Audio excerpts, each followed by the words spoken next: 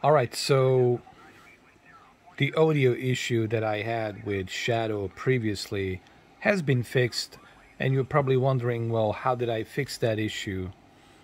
One simple, one simple way. Uh, you have to download the GeForce Experience app, and you have to keep up the uh, RTX P5000 Quadro graphics card up to date. Uh, that's why there was no audio because of the graphics drivers that were missing. There are required for you to have the audio uh, synced in properly. So as you can see here, I am on a shadow. This is shadow. The quality is uh, fairly nice. There it is, right there. Uh, this mo uh, this laptop, it's 144 hertz so it already has 144 hertz display. Uh, so obviously it's going to run it at 1080p, 144 uh, hertz, which is right over there with the adaptive sync. Um, well, the good thing about the Shadow is it will recognize the monitor. If your monitor supports 144 hertz, it will adapt to that 144 hertz. If your monitor supports um, ultra widescreen, it will present resolution in that ultra widescreen native uh, 144 hertz refresh rate. Uh, and you, you can also use a, a, dual monitor with shadow. That's another thing you can do as well. So that's pretty much all you had to do to get the uh, to get the sound working. And here I'm going to show you how well the sound is. We're going to zoom in a little bit on the F18. Everything's running in ultra settings.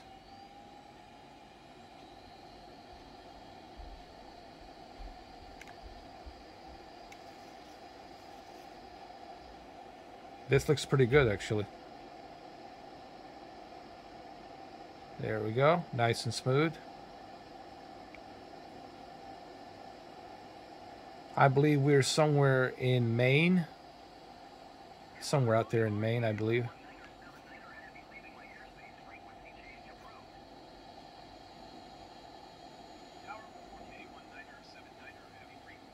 These are the ultra settings. Uh, 1080p, 144 hertz.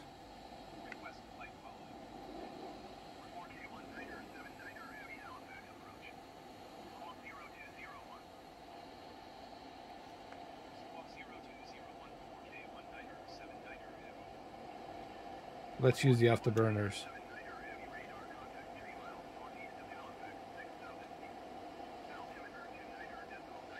Let's uh, zoom out a little bit. This is actually uh, F-18 from uh, Top Gun Maverick uh, in the upcoming movie. So if you're looking for a U.S. Uh, Navy F-18 Hornet C. I think this is E or C. I'm, correct me if I'm wrong, but I think it's a it's a E, right? This is a E, not a C. Uh, that's but that's the one that I believe uh, it's being used in the movie. Movie's coming out next month, May 27th, just in time for um, Memorial Day. Let's uh, go ahead and uh, switch to a cockpit view. Pretty good detail. Um, now, you guys have to remember I am uh, using a wired Ethernet from my modem uh, to get this uh, smooth quality, which is right over here. There you go. You see that Ethernet port? That Ethernet cable that goes right over here to my router, which is right over here. Um,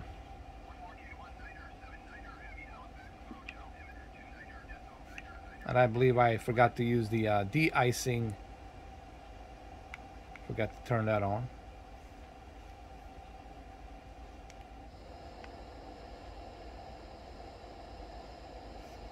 We're running everything at the ultra settings. Looks pretty darn good. Not bad for a shadow.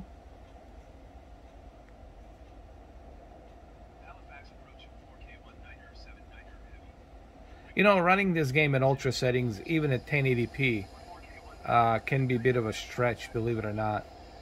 This is a very highly demanding uh, CPU and GPU type of a game.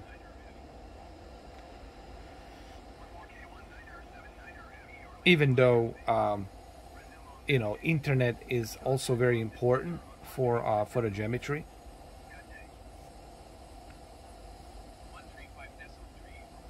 Let's uh, zoom in a little bit, see it, see how it looks. Oh, well, that looks pretty darn good.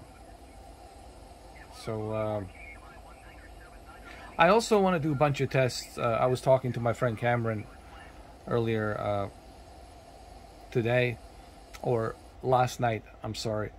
And um, I uh, want to use the PlayStation Now app with Shadow I was telling Cameron that I would like to use their fiber optic uh, one gigabit, one gigabit up, down, one gigabit up and down, upload and download fiber optic super speed internet that they have from Shadow to uh, run PlayStation Now games. And uh,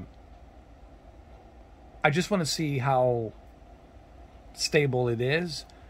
I also want to use uh, Stadia with Shadow. I want to test that.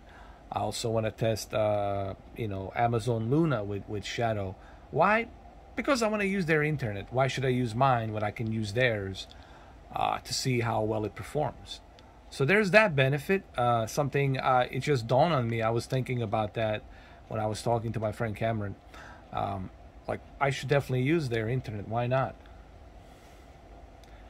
And even with this game, you can see that the photogrammetry it's looking really good because um, we are using we are using their uh, internet. We're not using our internet.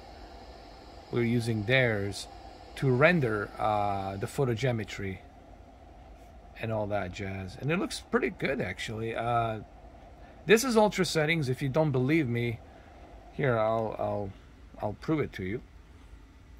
Because you know these days, you know, especially with the internet, you gotta prove everything. Otherwise, it's just a hearsay.